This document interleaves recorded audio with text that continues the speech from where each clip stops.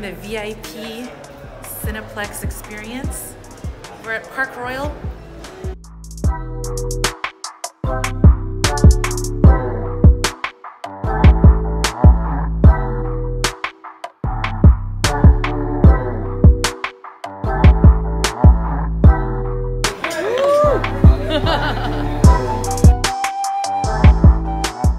So these food menu prices are okay.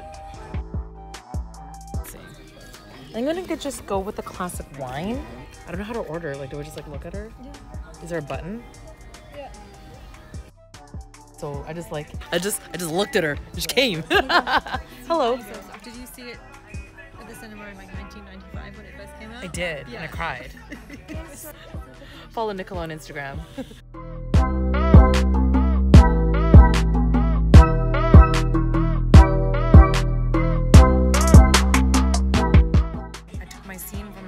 Wallet. She just took a picture from her iPad ordering thing.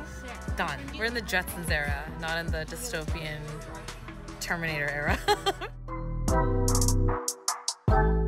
Whoever greets you, they just walk you to your seat, and then it's that person that will like serve you.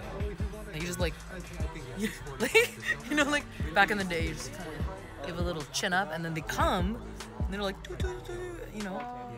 This is the life, and we haven't even seen the movie yet. I'm already happy with this. Hi. Yeah. Oh my goodness. Thank you. In case you didn't know, I'm a VIP. Yeah. What are you doing?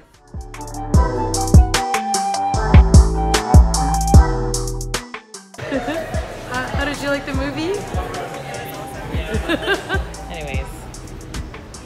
Lion King, it was good. What did you think, Nicola, of the actual movie? I love The Lion King. It's my favorite. I hope you enjoyed the show. I really did. That's British for cut.